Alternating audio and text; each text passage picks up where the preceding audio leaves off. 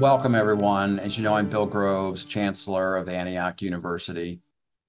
Um, I'm honored to welcome our panelists tonight, uh, Clarissa Martinez de Castro and Monica Lozano, and our audience. So thank you for attending today's Antioch Works for Democracy, a webinar presentation and conversation entitled Election 2024 and Latino Voters, Issues, Trends, and Concerns. Latino voters could play a very decisive role in November's election, both at the national state level, even at the local level. So this discussion could not be more timely or important as we try to understand the most pressing issues and trend lines in this diverse community. As many of you know, Antioch Works for Democracy is a multi-month, multi-pronged campaign of education and action to strengthen our democracy and engage with our communities across the country. So thank you for participating in this important keynote presentation and any of the other presentations that we have scheduled for Antioch Works for Democracy, uh, including the Days of Actions. So um, let me introduce our two amazing presenters and facilitators today. First, I'll start with Clarissa Martinez de Castro. Um, she is Vice President of Latino Voter Initiatives of Unidos, uh, the nation's largest Hispanic civil rights and advocacy organization. She has extensive experience overseeing and developing polling projects on Latino voters and on issues impacting Hispanics. She's a frequent media commentator on the Latino electorate and immigration issues. Clarissa is a graduate of Occidental College and Harvard's Kennedy School of Government. So welcome, Clarissa. Uh, secondly, we have Monica Lozano, who was most recently president of the College Futures Foundation, a California-based effort to advance learner-centered innovation that envisions a future where education fosters racial, social, and economic equity. Prior to that, Monica was the publisher and editor and CEO of La Opinión, which is the largest Spanish language daily in the country. Among her many other accomplishments, Monica was a member of President Obama's Economic Recovery Board and has served on the board of the National Council of La Raza, was a member of the Board of Regents of University of California and of the University of Southern California. She has also served as a member of the Inter-American Dialogue, a US-based think tank that engages a network of leaders to foster democratic governance and social equity in Latin America. So welcome, Monica. Um, I also need to add something special about Monica. She is the mother of an Antiochian, and her daughter graduated from Antioch University in Santa Barbara. Um, so we can't be happier about that. Um, the format for tonight is rather informal. We'll begin with an overview presentation of Latino voter issues by Clarissa and then a conversation facilitated by Monica. Um, at the end, we hope to leave about 15 minutes for questions. So feel free to post your questions in the Q&A. Laurien's going to field those questions and feed them to the speakers at the conclusion. So we'll address as many of those as possible. All right. So with that, I'm honored to hand this over to Monica Lozano to get us started.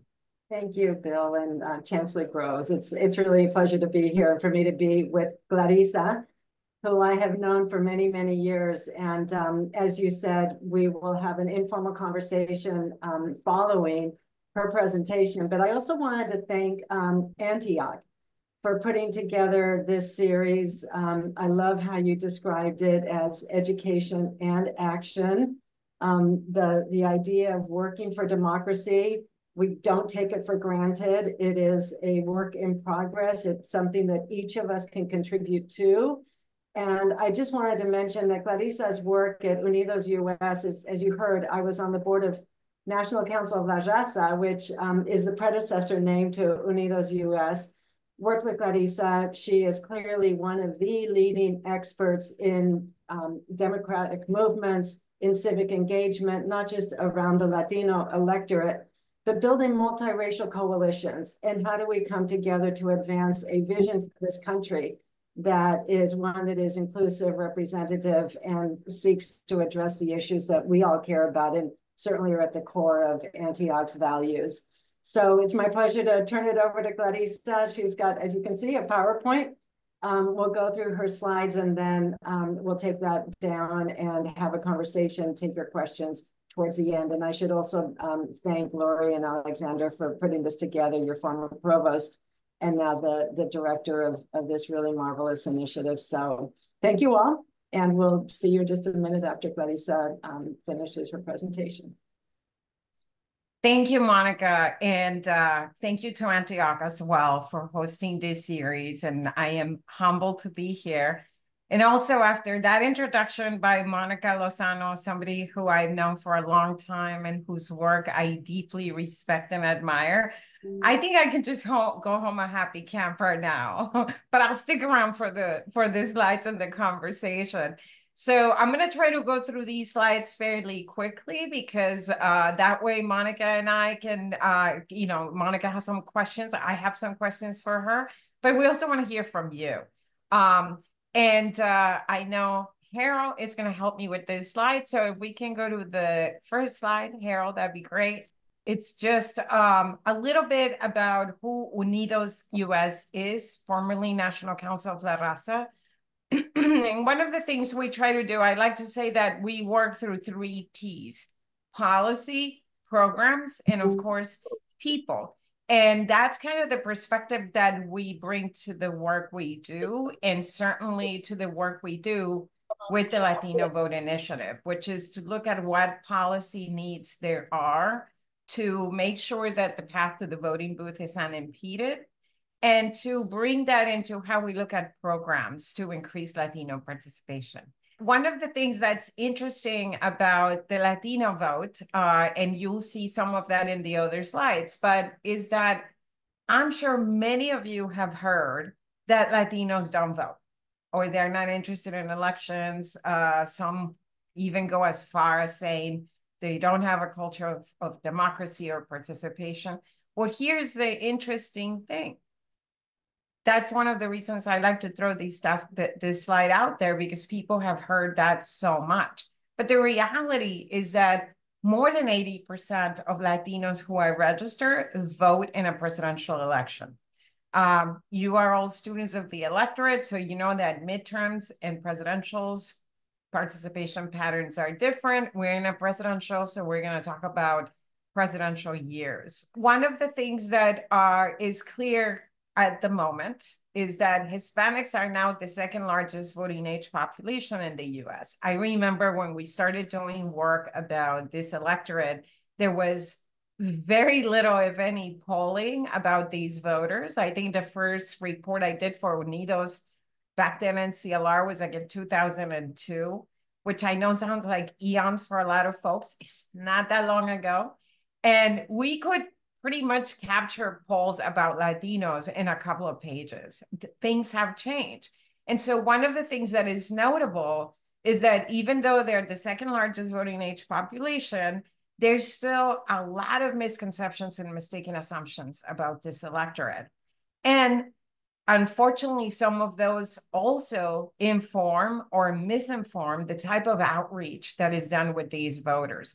And that's one of the reasons we like to really call attention to the fact that where the biggest opportunity gap is in terms of growing the Latino electorate to make sure that they have accurate representation at the polls is closing the voter registration gap, of which right now we have about 13 million who are eligible and not yet registered. The other point that if I leave you with two points, I think that would be one of them. More than 80% of Latinos who are registered vote in presidentials. The other one is that eight in 10 Hispanics in the United States are United States citizens. The reason that is a critical point is because I think that there is a perception out there that the majority of Latinos are immigrants and undocumented. And the reality is the other way around. Eight out of 10 are United States citizens, and of the remaining two, one is a legal permanent resident, and number 10 is an undocumented immigrant.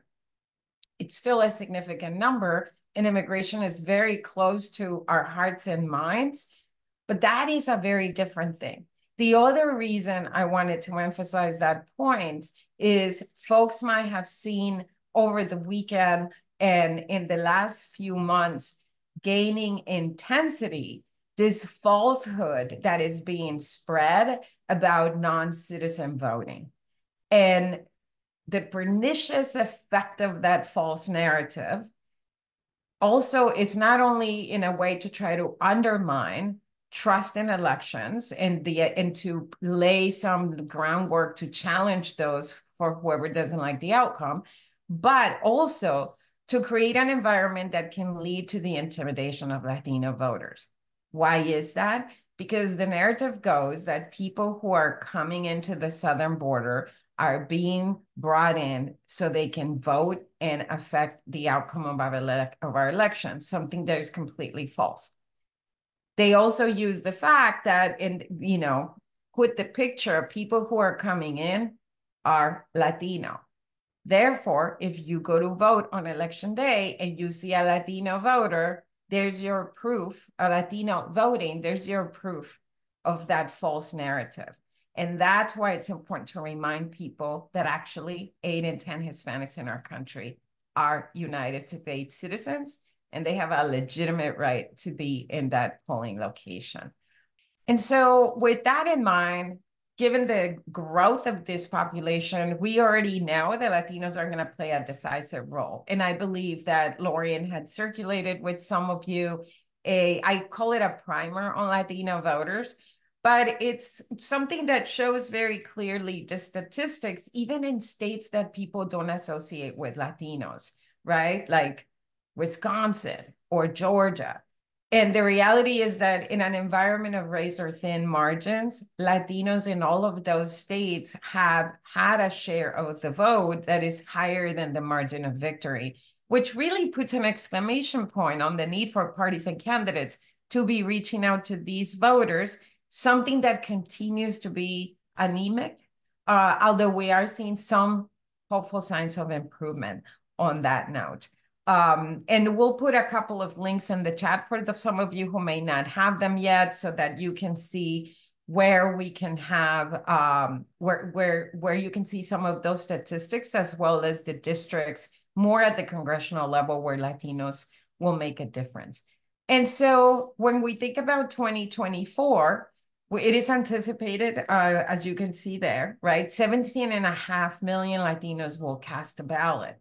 Now, Latinos are a young population. So are so is our electorate. And so every election cycle, there's going to be a portion of Latinos who are voting for the first time. And so again, if I sound like a broken record, I think that this puts an exclamation point for candidates and parties that they should be reaching out and engaging these voters because a significant number of them have not heard from any of them before because they are new to the electorate, right? And I think that one of the very interesting ones is that fully nearly 40% are new since the matchup between Trump and Clinton.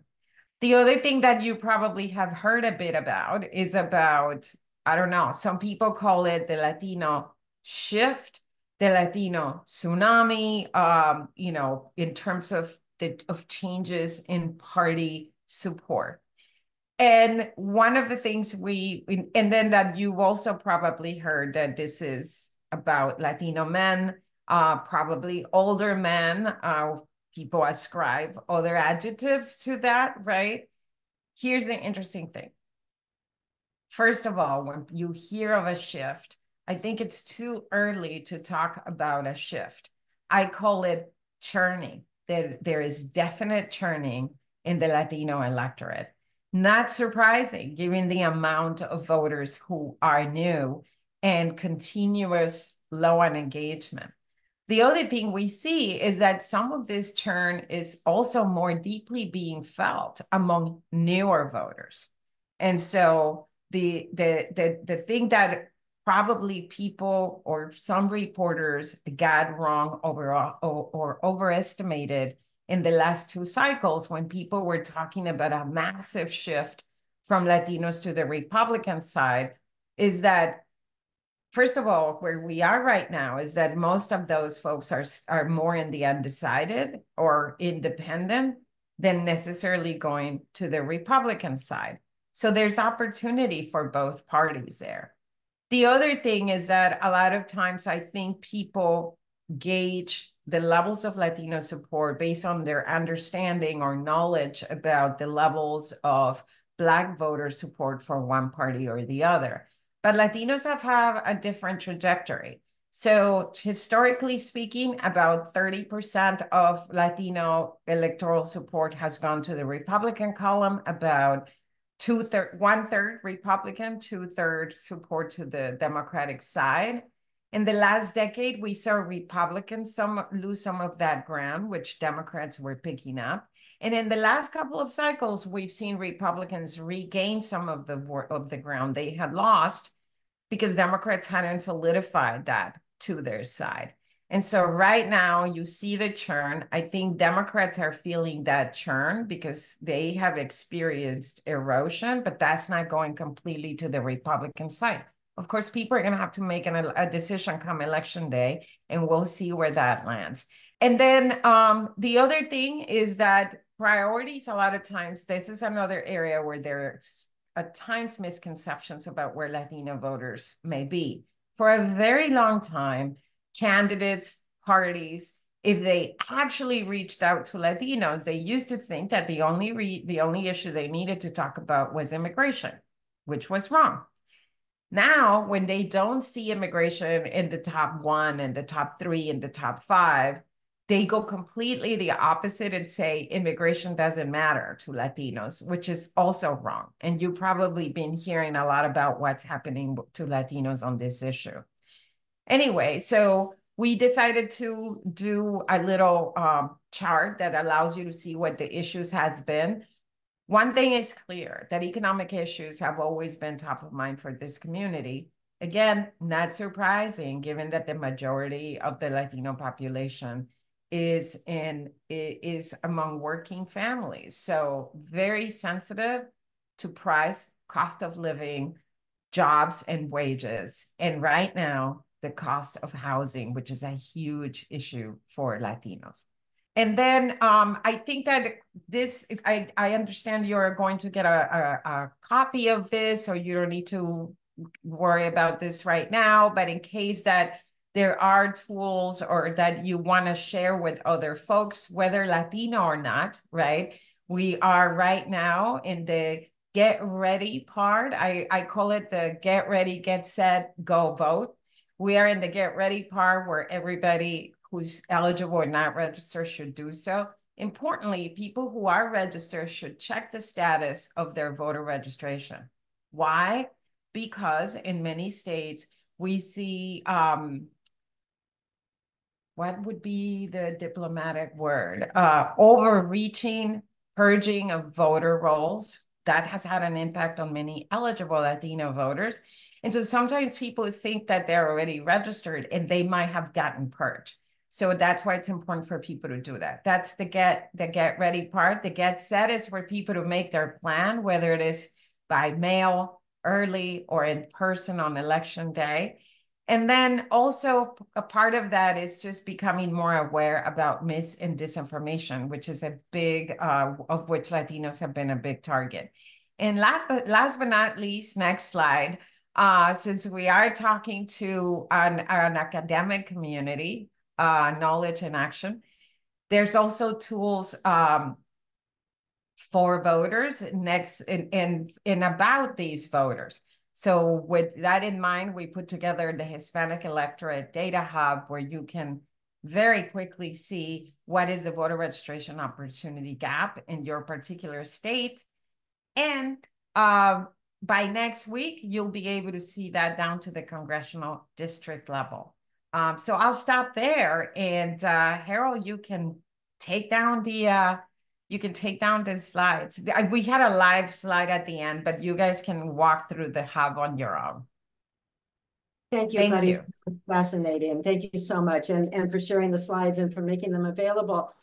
I'm really struck by the, the first point. You said you're, there's a couple of takeaways. One is that eight out of 10 um, registered voters actually vote. And you gave us a lot of information about misconceptions, the ways in which parties don't outreach. We're going to come back to that. But given the fact that we do have these high participation rates among those who are eligible, what is the primary motivation? What what is it that motivates Latinos to get out to the polls, and what have you found to be the most persuasive in terms of voter voter engagement? For voters who actually have gone out to the polls, there has been a number of years where the plurality of those voters saying that it was more to stand up and represent their community than for the actual candidate that they might have voted for.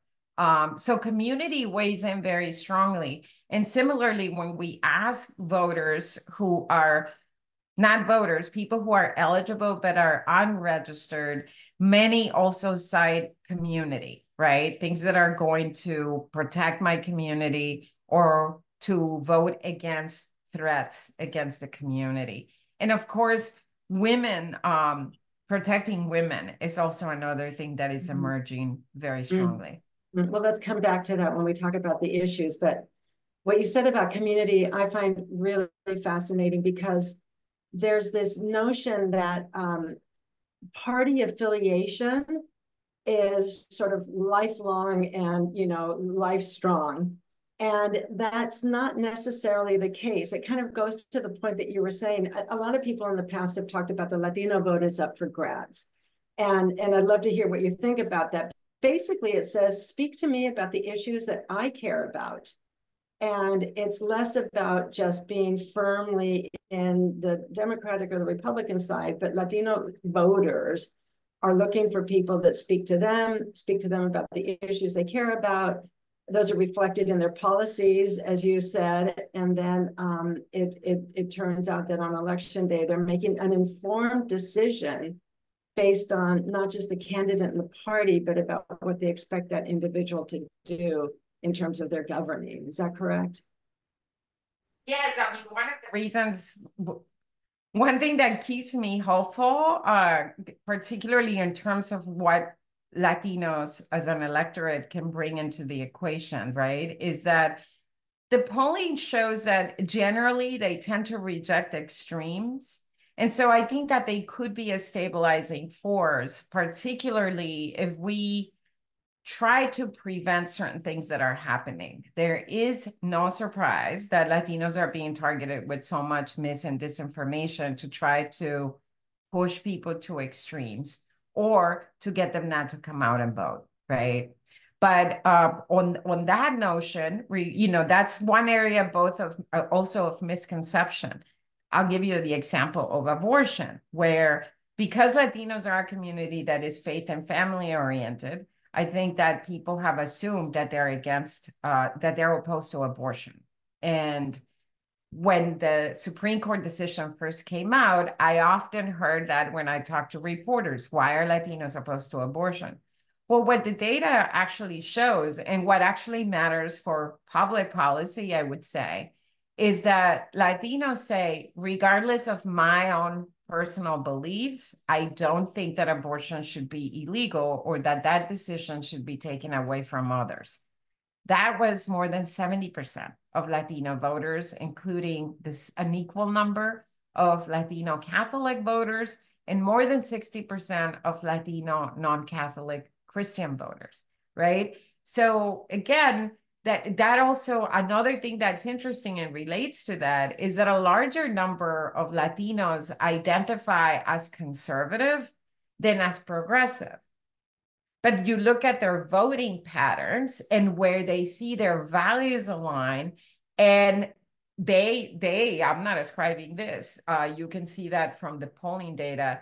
They think their values align more with the, the stated democratic positions. But mm. for folks who just want to do an either or box or like something very neat, that can get very confusing. And that's why I think people often get these voters wrong. Well, I'm curious what you just said about um, abortion, and, and I know that on the issue slide that you brought up, re reproductive rights is one of the top issues of, of, of importance um, to Latino voters. And I'm wondering if that's also a reflection of the fact that more women, Latina women, are voting than men. And that's one of the trends that we've seen, like on, on the engagement scale. It tends to be more women. Is that, if, if, am I getting that right? But I do believe that there's more Latinas who are voting, and I wonder if there's a, a gender difference there as well. It is true that more Latinas vote uh, than Latino men. The the the difference is not a radical difference, but definitely Latinas have the edge there. The other thing that's interesting is that actually Latino men also share that perspective on abortion that I just mentioned. Latinas are higher by and and the reason I don't have it top of mind is because we are about to release a a, a very large poll of Latino voters next week, three thousand respondents, mm-hmm. and I think that there might be a five point difference between Latino men and Latino women on this issue of abortion, but it's five percent like between 69 and 75 you know so latino men are up there on the issue as well. high, high on that high on the import scale and i remember when we were doing polling at la Opinión and in, in some of our media properties um, there was a notion among latinos that we've actually recognized the important role that government plays in providing basic services housing, transportation, et cetera. And um, and yet government shouldn't get involved in personal decisions. That's what I'm hearing you say um, that that belong to the family and to the individuals. I want to go to the issue that you also mentioned about um, the the youthfulness of the our voting um, electorate and the fact that I, I saw it on your slide a million. This is hard to believe. I actually heard this data point um, during one of the conventions, I think it's like every 30 seconds, a Latino turns 18, which makes them voting age eligible. Um, and so if they're first time voters, and and you know we're talking to Antioch here, um, younger individuals. I'm I'm assuming who are engaged in in both the issues. What what are what are the motivations for new voters, first time younger voters, and what have you seen as most effective in terms of outreach to, to this particular cohort? One thing I always try to remind myself of is not to underestimate the power of the basics. What do I mean by that? A lot of times, for example, on election protection, most of us are like, where is the most egregious case of intimidation? But sometimes benign neglect can be just as harmful. And that is people who don't know about the process. Uh, they don't get their voter registration card. They don't know where their polling location is because there's not enough information about that. Bringing it back to voter registration, um, I think studies have shown that for many Latinos, um, one thing is like not knowing about the process. So just like many of us uh, are, had been the first in our families to go to college, for example, Many of us may also be the first in our immediate family to be a voter. And so when you think about it, in voting, of course, if you've done it and you've done it a couple times, you know that it's not that complicated to be able to do it.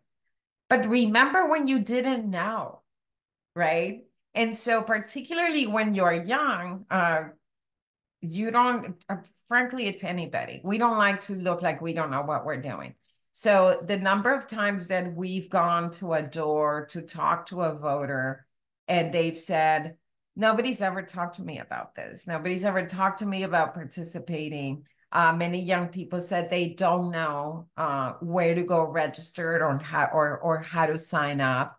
And I know those things sound basic, but the good thing about that is that they're simple. So we can help with that in addition to that, um, there's the other things, right? That people think, hey, millions among one in a million, uh, my vote doesn't does it's not going to make a difference. And of course, we all know that whether your vote is the tipping point or not, it absolutely makes a difference. Uh, so we talk to folks about bringing to the voting booth not only their aspirations, but their families and their communities, right? And that Rome wasn't built in one day. Now, more recently, we also have a ton of examples to show that a handful of folks can absolutely make the difference with their vote. So letting people know about that and connecting it to daily lives, right? When people focus on the presidential, a lot of times it's very hard to understand how that's going to have a direct impact on what you do. And that creates another opportunity to talk to people about why it's so important to not just vote for the presidential, but all the way down the ballot, because some of those positions at the county level, at the district level, they actually have a more direct impact on our daily lives. No, absolutely. And and and again, I remember we used to say the the presidential elections may be the ones that galvanize and capture our attention, but the ones that really matter, the bread and butter, the trash getting picked up, the street repairs, the quality of your schools, those are all local issues that um, creating that um, just the, the tradition of voting is, is so important. But you know, Gladys, as I was thinking about what you're saying, um, the campaigns, my understanding, I've never worked on a, on a, on a campaign, but my understanding is that when they're thinking about the best use of resources, they will go for high propensity voters, which are voters who have voted, I don't know, over the last five elections, et cetera, and then work their way down. And when you have first time voters, like the ones that um, Unidos is targeting for registration, you're not contacted. And if you are contacted, it might be at the very end of a cycle. So um, if, if you were to give um, advice to the campaigns, um, what would that be in a nutshell? Reach out, reach out early. Um, what are the things that you think make a difference from from an actual campaign point of view? Yeah, I think that nutshell is candidates matter, their positions matter, and meaningful outreach is essential, right? Um, amazingly enough, and we've asked this question, so we do pre-election polls, and we also do another poll that is the equivalent of an exit poll uh, where we talk to Latinos who already voted early or by mail, and those who are like 100% certain they're going to vote on election day, right? So it's on the eve, around the eve of the election. Among those folks who are either like voters or highly, highly, highly likely to vote, for many cycles, what they have said, about 60% have said that nobody contacted them. That's an incredible number. And that's nationally, but the difference is not that significant, even when you look at that number in battleground states, right? So that to me just seems like outright political malpractice. What I was saying that things are looking slightly better is I was just looking at the at the results of what we're gonna release next week. So I'll give you a sneak peek and 55% uh, of respondents say that they haven't been reached out to yet. Uh, it's still August. It's 55%, which is less than 60, but it's it's an incredible number. And again, the level is not drastically different if you compare that national number to and break it down for Arizona or Nevada or Pennsylvania. And so I think partly is because these voters, by some, have been seen as I don't know if part of the base even does it justice, right? But it's like, okay, they're going to vote for us no matter what, even though there's plenty of evidence to the contrary. But then what happens, and we've been challenging reporters about this too, is the times that you see a candidate who's lost an election, and this happens more on the Democratic side because that's where the the, the expectation of support has been get bigger. And a lot of folks then turn around and blame Latino voters for not having done what they were supposed to do. But reporters don't necessarily ask those candidates. So, how much, how often were you out there and talking to them? And if, you know, you, that's a, a first rate question, I think. So that outreach is key. So between benign neglect and political malpractice, there, there's a lot of room for growth here, right? Yes. Yeah, yeah. So, um, Clarissa, I also wanted to ask you about um, what you call churn. And so, in the last presidential election, there were um, stories written about how the Latino vote was becoming more Republican, more aligned with the Republican candidate, that they spoke to the issues um, in a in a way that resonated. I'm curious whether or not these are sort of nuanced differences, state by state, country of origin. Um, it, it, clearly isn't a tsunami or, or, a, or a major shift. You've already told us that Latinos need to be spoken to. They need to be spoken about issues that they care about. The messengers need to be trusted, etc. But um, in your in your analysis, um, is there a trend towards alignment with the Republican Party? And if so, what is the strategies that have captured their vote? Yeah, so as a point of reference, the highest levels of support that the parties have achieved on the Republican side, the high water mark was George W. Bush, who was able to achieve 40% of the support of the Latino electorate the second time he ran. And he had a, a, a very strong mid 30s level of support the first time and then uh, and then increased it. He's the high water mark there. Um, of course, he won his election. On the on the on the Democratic side, looking apples to apples polling, meaning I'm looking at comparisons of polling we've done across the year using similar methodology and polling teams. The high water mark it was Hillary Clinton uh, in terms of Latino support, right? Now, she didn't win her election, but in terms of high water mark for Democrats about what's achievable, there's definitely her.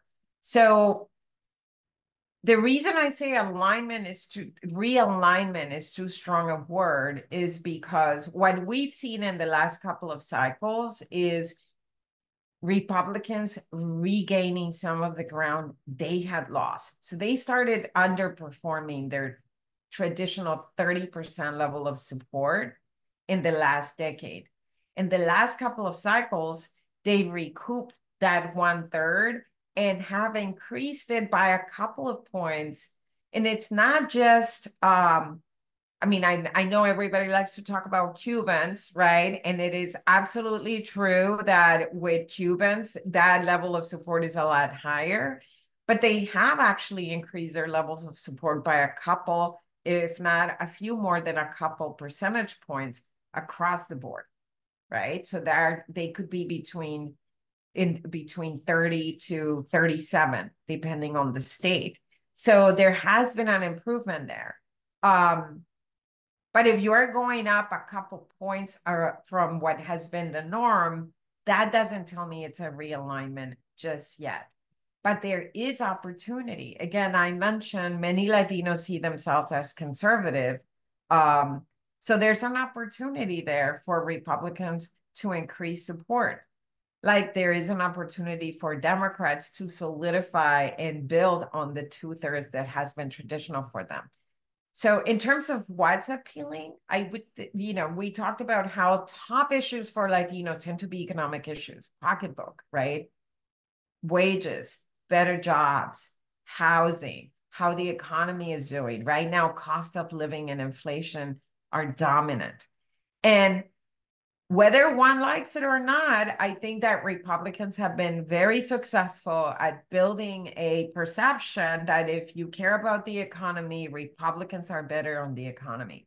So they have that wind in their sails going on right now that three of the top five issues for Latino voters are actually economic related issues, right?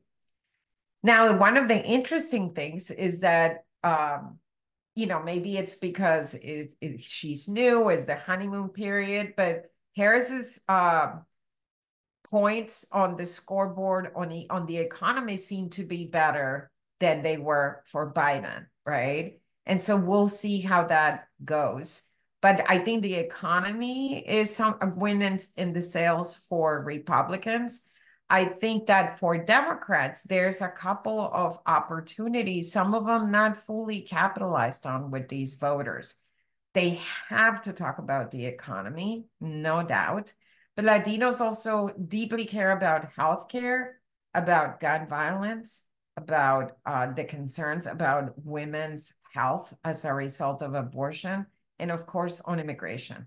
I know we've got questions from from the audience. I'm going to turn to them, but um, I do want to come back both to immigration and how the candidates should talk about that. And then we can't close this out without talking about um, what we just witnessed at both conventions.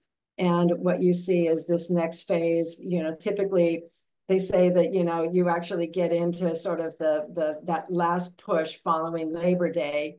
Um, and what makes you hopeful in terms of a better understanding of a Latino vote, better, um, more effective outreach, and um, you know your your expectations um, for voter registration between now and, and the end of the year, but I mean the um, through the through the election cycle. So Laurien, why don't I turn to you, and then if we do have time, we'll talk about both immigration and then this last phase. Okay, great. There are two questions that have come in. Uh, the first relates to our colleagues up at Antioch Santa Barbara. Um, and this, Monica, you mentioned making informed decisions. Um, Antioch Santa Barbara, coupled with Santa Barbara Community College, together they're holding a forum in Santa Barbara in October uh, with the aim of make, helping people make informed decisions. What do either of you think are some of the effective ways to do this? And let me underscore that this is really a forum about more local issues than national. Well, before, you know, it, as a way of answering that, first let me just thank um, Antioch Santa Barbara for hosting the forum. And Clarissa, you had mentioned earlier about Latinos being targeted with misinformation. And one of the things that the three of us know is that we live in a moment when sort of traditional media and the media models are under great stress. Um, and we're seeing, you know, smaller and smaller newsrooms. We're seeing um, news organizations that are shuttering. Um, and the traditional sources of, of news and information that would help individuals make informed decisions are, are, are more limited than what they had been. And as a result of that, um, we also see that Latinos are targeted now for um, misinformation, primarily through social media channels.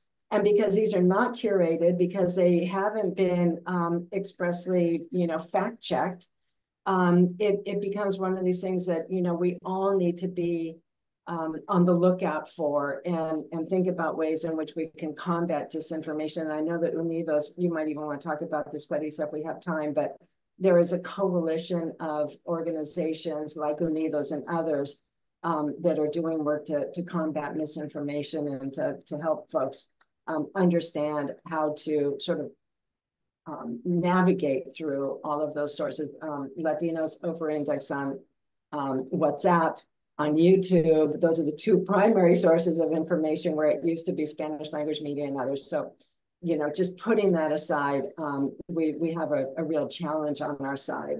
So in terms of um, making informed decisions, I think what we're finding is that philanthropy is stepping up. They understand that democracy is under siege, that people don't have traditional sources of information. They're supporting voter guides, voter outreach, voter information in ways that we hadn't seen before. Um, we need to support organizations like Unidos US and others that have credibility um, and whose um, whose brand resonates with our communities. So I would say um, continue to do what you're doing, which is, you know, we need trusted messengers.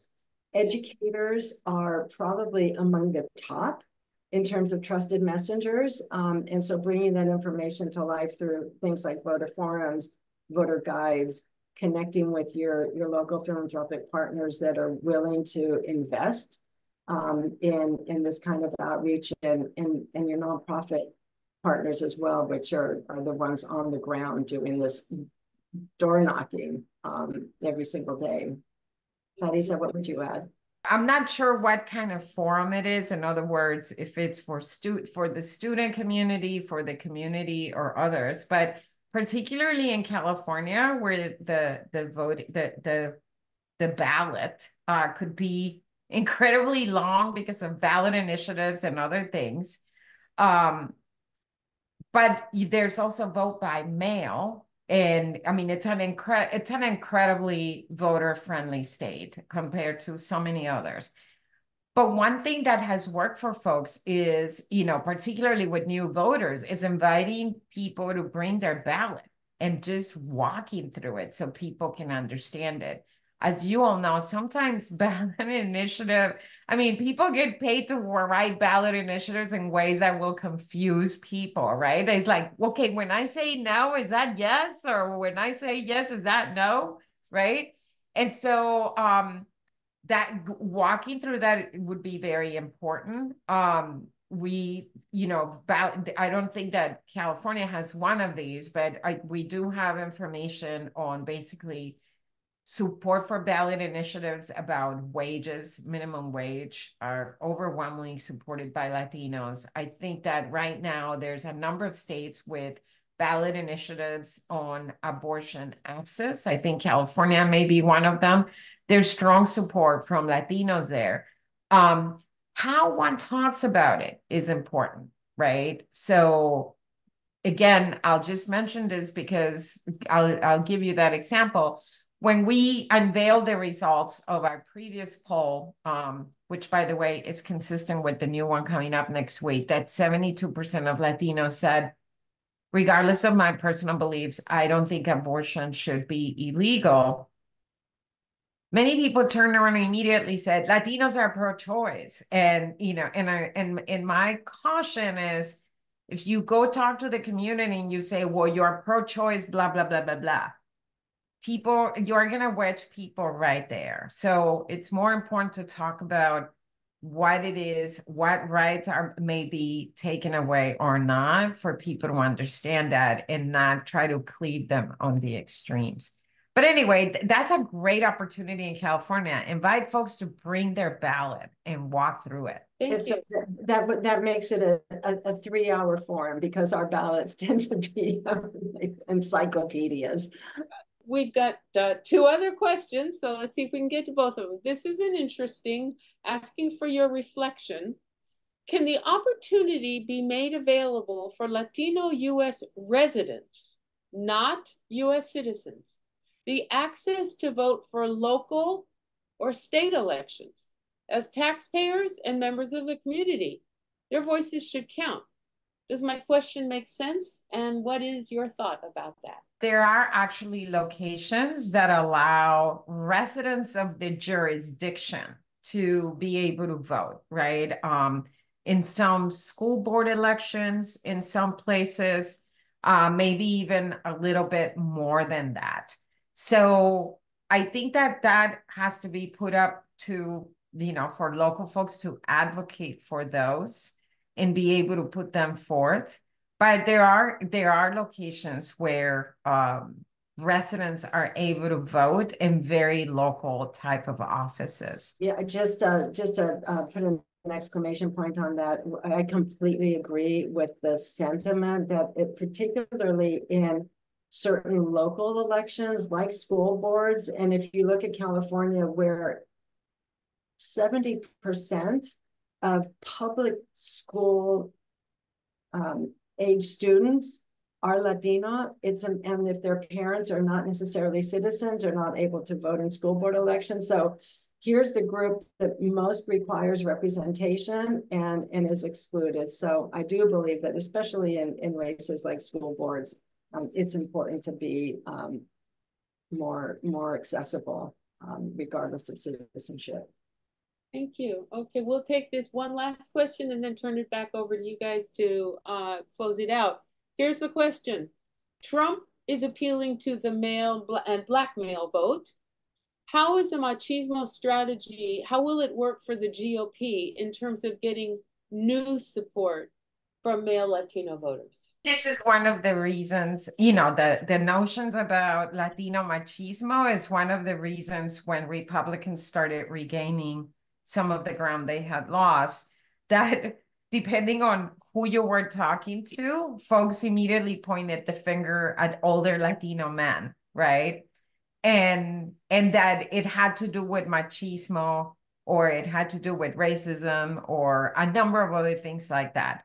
So I'm not saying that there aren't any Latinos for whom those things might have been true, but I think that the that that the reality is a little more complex than that. Um, as we mentioned, economic issues are top of mind, and I think that uh, there is a very strong sense that re- sense that Republicans are better on economic issues, and frankly, the what people have to go on as a measure is how was their wallet doing right? How is it doing now? How was it doing then?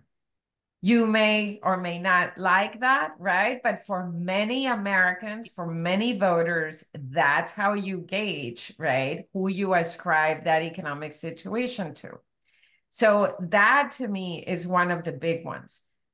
In addition to that, I think that we had seen the concerns um, I think that there's definitely a global trend towards strong men because they all seem to be men, right?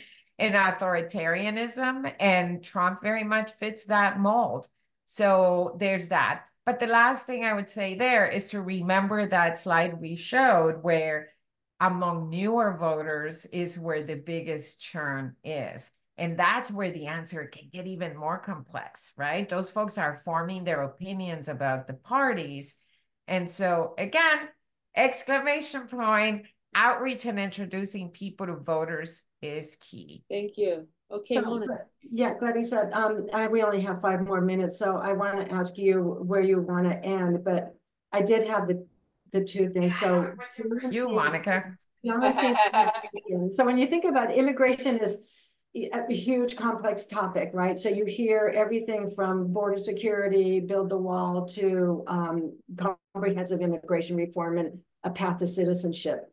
What what is the right way to signal a, a candidate's position on immigration that would resonate with Latino voters? One interesting thing is that just the same way that Latinos, uh, people want to try to put us in an either or kind of box I think the same happens with immigration. People are like, you Latinos are either for a path to citizenship or for border security, which is bonkers because for the for the immigration system to work, all of those things work in tandem.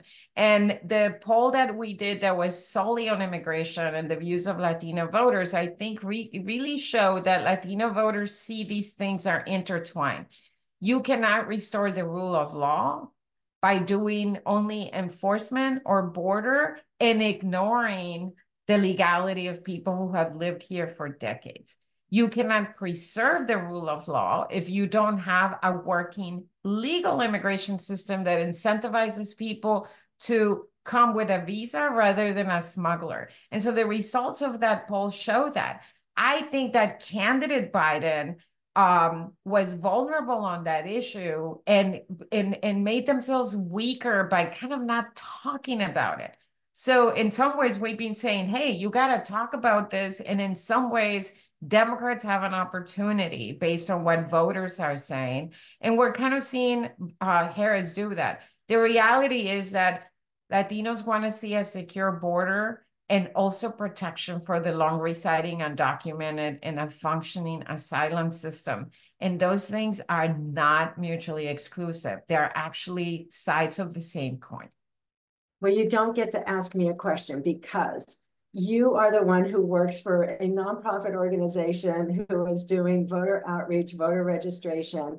How do we support your work, Clarissa? Um, and, and what is your vision between now and election day in terms of getting that oppor- closing that opportunity gap for those who are eligible but not registered. Well, I do hope that folks uh, uh like Ryan uh, organize different activities to try to demystify the voting process, right? Uh, the voting process can be intimidated. I'm saying that as a naturalized citizen who learned um, about it later on.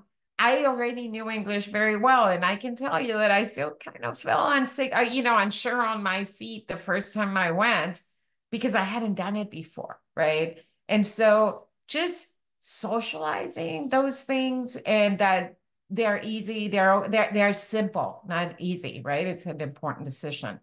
uh, doing things like helping someone uh, who hasn't registered to register to vote, particularly now that we can all be ambassadors to voter registration by having on our phone uh, a link to, to different sites. Those kinds of things, I think that serving as a poll worker, particularly during this time, one of the ways that we prevent um, the election system from becoming intimidating is by making sure that polling locations look like the neighborhoods that people that people live in the neighborhood. And so serving as a poll worker and being welcoming of voters coming to the polls is really important. For folks who are inclined you can certainly donate to unidos. Um, but look at our data challenge misconceptions about this uh, this electorate and any other voter. I think that one of the things that we all have a huge role to play in, and I was going to ask Monica about that, but is challenging this environment of division because I do honestly feel that we are less divided than what we are surrounded by. There is a pull to try to tear us to a corner or to an extreme, but that's not where we naturally live. So let's figure out how to protect that space that allows us to come together. And frankly, may sound tried, but indeed to protect our democracy. I really appreciate that. And, and I appreciate everybody's time and interest and Laurien and, and to you, Chancellor Groves.